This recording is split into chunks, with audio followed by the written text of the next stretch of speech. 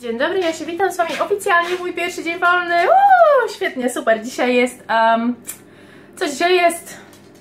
Piątek, dzisiaj jest piątek. E, ja właśnie się biorę za śniadanko, chociaż powiem Wam, już jest bardzo, bardzo późno, bo już jest godzina a, po 10, także.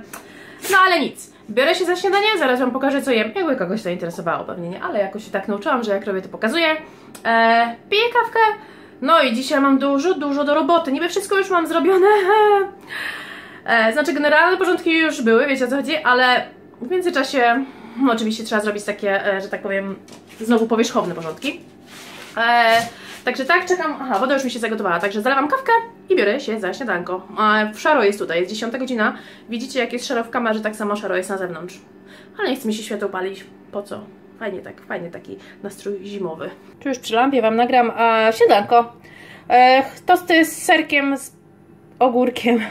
Wiecie co, ostatnio mi jakoś ciężko y, z owocami idzie, w ogóle jakoś tak owoców, marzyw, y, marzyw, warzyw je mniej, także y, przemycam do śniadania. No i do tego oczywiście kawka. Tutaj jeszcze mam z wczoraj kokonasa. Kokonasa, Boże. Kokosa! Ale chyba jego teraz nie będę jadła. Dobra, idę, idę e, wsuwać. No i jedziemy na zakupy, takie ostatnie małe zakupy świąteczne. E, w sumie nie szalejemy, bo się okazało, że zostaniemy sami na Wigilię. E, no ale nie szkodzi, nic, nic się nie dzieje. Chociaż chyba to będą nasze pierwsze święta takie same, same. Hmm. No ale trudno. E,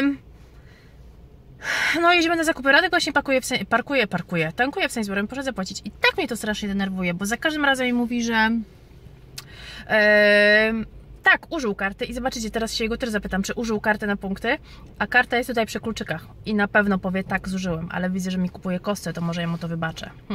może. Znaczy kostę kawy mi kupuje. Mm, ogólnie dzisiaj właśnie jest dzień, kiedy yy, niby zastrzelili tego pieprzonego gnojka, yy, który spowodował yy, całe zamieszanie w Berlinie. Masakra, powiedzcie mi, do czego to doszło, do czego to doszło, a co no dobra, słuchajcie. Już? O, dziękuję. Dużo? Nie. To duże jest. Duży kubek, żeby się nie wylała. Aha. Na samochód. A użyłeś karty? Na tak, punkty? tutaj wisi. Ha! A mówiłam tutaj, że na 100% mnie nakłamie, że zużyłeś. Że użyłeś. Ja nie kłamię, ja nie jestem Ma, tak jak ty. no ja nie jestem tak jak ty. A czemu nie użyłeś krzyczałam za to, może byś użył karty? Bo nie. E, w każdym bądź razie powiedzcie mi, co za święta, co za święta, jakaś masakra. Ale najgorsze, wiecie co mnie najbardziej przeraża? Najbardziej mnie przeraża to, że jak były te chyba pierwsze takie ataki, to mm, jak się nie mylę, to chyba było wtedy we Francji, e, co do tej redakcji Hebdo się dostali. Re- Hebdo to było? Charlie Hebdo, tak. do redakcji Charlie Hebdo, to pamiętam w ogóle wszyscy tak strasznie, znaczy nie przeżywali, no ale to było coś strasznego. No i od tego czasu troszeczkę tych ataków się niestety wydarzyło, ale zobaczcie na reakcję ludzi. Coraz mniej ludzie na to reagują. Coraz mniejsze, nie wiem. Ja widzę u siebie w pracy na przykład, coraz mniej ludzi o tym rozmawia. To, tu, kurde, tu są cały czas tak same wielkie tragedie, a mi się wydaje, że to po prostu się robi taka codzienność, nie?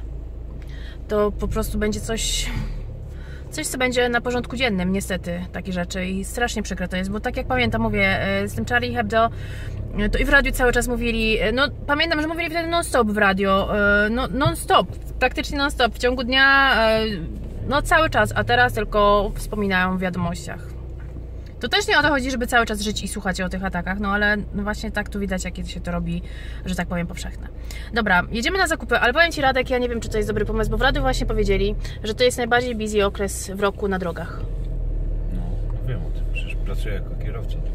No wiem, że pracujesz jako kierowca, ale myślisz, że z tego, co mamy w domu, nie zrobimy Wigilii? Nie? A jak pójdziemy tu do Dobra, ja już sam pojadę. Zrobić zakupy? Tak. Idziemy do Sainsbury'ego teraz? Nie, ja nie chcę, żebyś sam jechał, ja też bym chciała pojechać, tylko tak myślę, czy... No bo- nie, no bo jak ja pojadę sam, to nie będzie korków, bo przed, o 12 jeszcze nie ma nic, a teraz już zaczyna się największy, największy ruch, więc nie wiem. A pogoda, zobaczcie, iśnie, iśnie, istnie świąteczna. Nie przejedzie. Także pięknie, pięknie mam. No a na jutro oczywiście zapowiadają u nas e, sztorm. faktycznie. No to dobrze. O, ale wieje! Tak, huragan, sorry. Huragan. Sztormy są nad morzem, także dobra, idziemy na zakupy. Zdecydowaliśmy tylko zrobić małe zakupy w Sainsbury. Nie powiem wam, no i tak wyszliśmy stamtąd, bo po prostu tyle ludzi, że się żygać chce. Każdy chodzi, szturcha każdego, fuj, nie lubię, nienawidzę takich zakupów. Także jutro trzeba będzie część dokończyć, chociaż e, my w tym roku robimy taką wigilię taką normalną, nie? Nie przesadzamy tak jak robiliśmy rok temu, dwa lata temu. Narobiliśmy tyle jedzenia, chcieliśmy zrobić te wszystkie tradycy, tradycyjne, tradycjonalne, tradycyjne dania. I koniec końców, żeśmy bardzo dużo musieli wyrzucić. E, chciałam jeszcze powiedzieć właśnie na temat tego gościa. Na pewno jesteście, na pewno wiecie o tym, że angielski kierowca tutaj zrobił. Na temat tego gościa, Boże. Na temat Łukasza i e, kierowcy tira, który został zabity podczas zamachu w Berlinie. I mm, z pewnością wiecie o tym, bo wiem, że o tym bardzo głośno w Polsce, że polski, polski angielski kierowca tira również, e, Dave, który w ogóle jego nie znał, robi tutaj zbiórkę pieniędzy. E, założył na początku sobie 20 tysięcy funtów z tego co wiem, dzisiaj już było 106 tysięcy funtów. Powiększył próg do 200 tysięcy. Ja wiem, że to na 100% możecie nie zwrócić, no ale przypuszczam, że troszeczkę pomoże rodzinie. I powiem Wam, że szczodrość ludzi po prostu aż zapiera dech w piersiach, bo już mają ponad 100 tysięcy, 106 tysięcy. A większość to Polacy płacą. Tak, ale z tego, ta, no nie tylko z wysp, widziałam ze Stanów, z Niemczech wpłacają, no bo to każdy może wpłacić na tym GoFundMe stronie.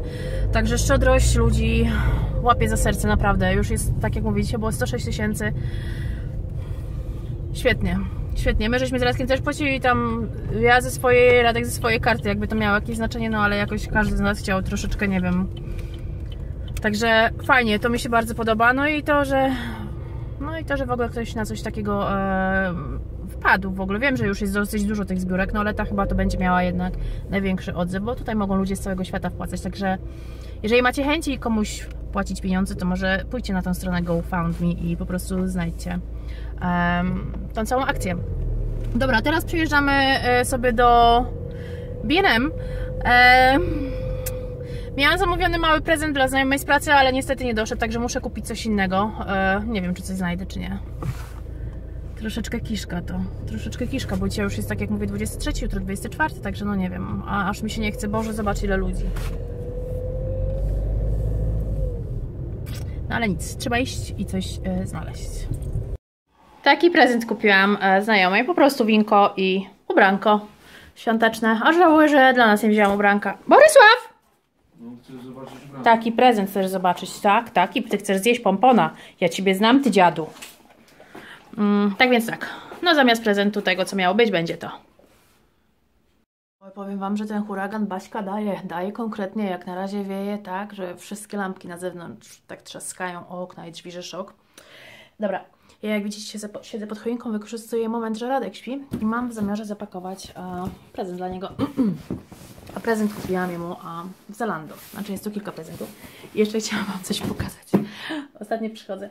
Oczywiście Radek zapakował prezent dla mnie w mój papier, no ale trudno. Ale przychodzę ostatnio z pracy. A tu takie coś. Nie muszę Wam mówić, dla kogo jest to prezent. W ogóle tak się rozmawiałam, śmiałam się z niego na maksa, dlaczego jest zapakowany w um, papier y, urodzinowy, ale mówię, że psy nie rozumieją, czy to święta, czy urodziny. Także dobra, ja się biorę zapakowanie. Prezenty już są, e, wszystko spakowane, wygląda tak. I choinka też, powiem, bardzo mi się podoba i się cieszę, że nawet nam dali naszą, ta byłaby taka smutna, łysa. Nikt jej może nie chciał. No nie, no chciał, bo czyjeś inne imię miała, ale moja kawa. Ok, biorę się za inne porządki. A takie właśnie wieszaki Radek, wieszaki, Boże, co ja z wieszakami? A klamerki Radek mi kupił, bo mówiłam Wam, że chcę pozawieszać te wszystkie swoje e, kartki. Także mm, już tutaj kombinuję. To już wisi tak na kominku. Po prostu jest tego zdecydowanie za dużo. To już wisi tak. Miałam powiesić gdzieś tam na górze, no ale nie mam, nie mam czym przymocować do ściany, także będę wieszała na boku kominka, gdzie to jest. I zobaczymy, jak to będzie wyglądało. Tutaj dla mojego Radka herbata z miodem i cytrynką, bo coś mi choruje. Także zaraz mu zaniosę. A ja biorę się za odpalanie wosku. Już Wam kiedyś o tych Airwickach mówiłam. A tutaj mam akurat zapach e, Mulled Wine by the Fire, czyli wiecie, tak jak widać, klementynki, cynamon i typowo takie um, świąteczne zapachy. Także biorę się za wrzucanie jego do kominka. Kiedyś ktoś się pytał, jak ja czyszczę kominek. Mm. Gorąca woda, e, a później te osad, tylko po prostu gąbeczka razem e, z płynem do naczyń i to po prostu wszystko mi ładnie schodzi. Od mojej Ilonki na święta dostaliśmy pierniczki i powiem Wam, że już e, trzy zżarłam. Teraz daję Radkowi i idę robić, bo to według jej przepisu będę robiła pierniczki, e, które właśnie u niej wyschły w 4 godziny, także, znaczy wyschły. zmiękły 4 godziny, także e, zobaczymy jak to będzie, a są piękne, powinnam je co prawda na choinkę powiesić chyba, ale nie, no właśnie, psy zjedzą, także tutaj niech sobie na razie stoi, stoją, znaczy już daję Radkowi jednego spróbować. Wstępnie kominek wygląda tak. Kartki zmieściły się. Bajba, już troszeczkę telewizor. Em, Boże. Kartki, jak widzicie, są tutaj po bokach i tutaj. Nie chciałam, żeby cokolwiek stało na górze, no bo chciałam, żeby e, góra była czysta na takie rzeczy. Także tak to wygląda, a ja biorę się teraz, już Wam pokażę za co.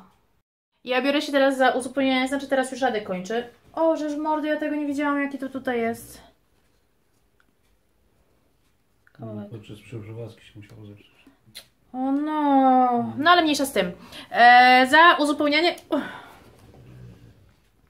Wreszcie tej ramki na zdjęcia. E, ja już Wam po- pokazywałam ją kiedyś, dostałam e, przed ślubem od moich dziewczyn z pracy. Jeden, jeden z wielu prezentów. O! Jeden z wielu prezentów, który dostaliśmy e, jako prezent ślubny. Także e, Radek będzie to robił, będzie działał, ale tu fajny gingerbread jest świąteczny. Hmm. Może coś z tego zostawimy jakiś. No zobaczymy. Nie? Znajdziemy? Także Radek siedzi na chmurze, szpera wszystkie zdjęcia i w ogóle oglądamy jeszcze zdjęcia sprzed wielu, wielu lat, nie? Super tak sobie wrócić e, pamięcią do tego. E, dobra, ja się idę brać za łazienkę. Jest i gotowa ramka, szybko Wam powiem co i jak. E, wybraliśmy z wielu, wielu lat. Piwo na plaży w Hiszpanii, e, przy samej plaży, w ogóle plaża na turystów, ale świetna, świetna. E, pierwszy dzień, jak znaleźliśmy Lunę i poznała się z Borysem, e, mój rysunek na Radka nodze, to miał być Borys. Podobny, co? Bardzo podobny. E, tutaj my w Hiszpanii, jedno z tych zdjęć, nie akurat to, ale podobne z tych zdjęć wykorzystaliśmy na nasze zaproszenia ślubne, też jak leżeliśmy na plaży, my mieliśmy zupełnie inne zaproszenia ślubne niż każdy. Leżeliśmy na plaży z piwem i to było nasze zaproszenie ślubne. E, tutaj e, w drodze do Rumunii, chyba jedne z naszych najlepszych wakacji, co nie? Rumunia. Tak. E, naprawdę polecamy, polecamy, polecamy. Po prostu nie da się tego opisać. E, tutaj już z tego roku e, w Cheddar, w miejscowości Cheddar. E, tutaj e, Radek zobrazował mnie. Tutaj Oceanic Road w Liverpool. E, tam pojechałam do Radka po raz pierwszy i tam się wszystko zaczęło. Jakieś już 11 lat temu. E, tutaj ja na pomoście w mojej sukni ślubnej. Mm, to Grecja. Jak płynęliśmy do tego, co Wam mówiłam. Gdzie my to płynęliśmy na Grecji? Do Garycz. Do jaskiń. Do jaskiń przy, do jaskiń przy plaży. E, tutaj chyba pierwsze zdjęcie Luny robione moim Samsungiem którymś. Nie wiem dlaczego akurat e, Luna, no ale ona jest. E, I to ja też w Grecji teraz z tego roku. Także tak się prezentuje całość e, w brązowej ramce. Także super. Sypialnia też już jest oporządzona. E, wybrałam tą pościel. Ja nie wiem, czy w zeszłym roku na pewno nie pokazywałam jeszcze. W zeszłym roku bardzo rzadko kręciłam, także e, pościel kupowana jak zawsze w TK Maxie. Nie pamiętam co za firma. I też Wam pokażę e, z TK Maxa lampę. E, Zobaczcie, taka lampa ze szklanym, e, ze szklaną podstawą, zarąbiście ciężka. Co prawda to jest satynowe, no ale to z czasem zmienię. E, Tak myślę, chociaż na razie fajnie wygląda. I ona na przecenie była z 30 chyba na 12 funtów, jak się nie mylę. E, I obok jest nasze zdjęcie e, ze ślubu, gdzie rechtamy się jak idioci, no bo z nas tacy są idioci, my zawsze się śmiejemy, także nie wiem czemu się śmialiśmy, ale pamiętam, że e, fotograf miała z nami problem, mm, żeby nad nami zapanować, także także tak. Cieszę się na maksa z tej pościeli ja jestem po prostu w niej zakochana i powiem Wam, że bardzo mi się podoba, że tam mam okno, bo świetnie wygląda właśnie, jak są te zasłony tutaj. Bardzo mi się to podoba. Kochani, ja już się dzisiaj z Wami żegnam, teraz właśnie składam dla Was film i zobaczyłam, że nie nagrałam jednych życzeń dla Was, także e, dogrywam po raz drugi. Życzę Wam wszystkiego co najlepsze, życzę Wam dużo miłości i życzę Wam dużo, dużo zdrowia, bo ono jest chyba najważniejsze. E, Cieszcie się z chwil, które możecie spędzić ze, ze swoimi bliskimi i cieszcie się życiem po prostu. Wszystkiego najlepszego, do zobaczenia następnym razem. Buziaki, pa!